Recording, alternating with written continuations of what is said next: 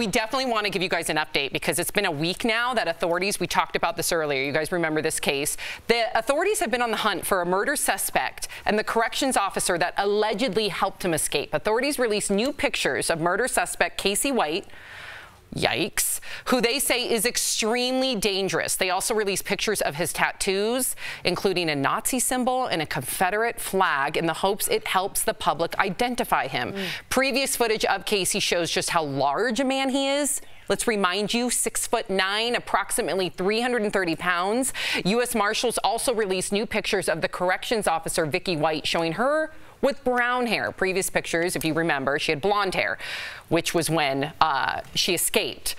And get this, you want to know something else? There's targets out there. He told them he's going after his ex-girlfriend and her sister. And they still haven't got this guy. So I'm six foot nine Nazi walking around, make me real nervous. Why didn't he, and correct me if I'm wrong, didn't he shoot an ex-girlfriend and also stab another one? I think Is so. that He's correct? in for 75 years. Yeah.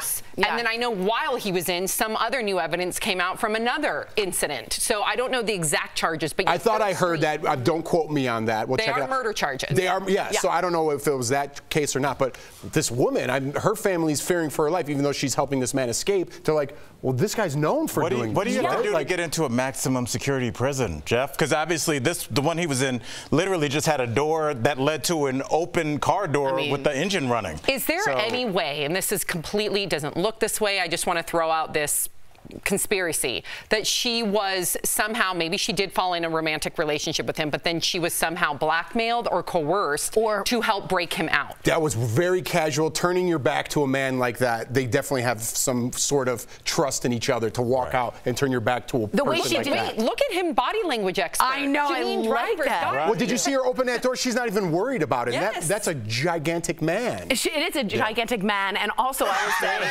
um, if I'm her defense attorney, though, when they do get caught, and they will get caught by U.S. Marshals, I would also maybe go psychologically. Was she Right. Stockholm syndrome in that way? Because like, how else do you explain? Right. this? How would she? She's the Stockholm in this situation. She's the person that runs We'll the see. jail. We so don't. how would it we'll- be? Yeah. She's it not a looks captive. like they're complicit. You but think over the weekend we'll get them by Monday?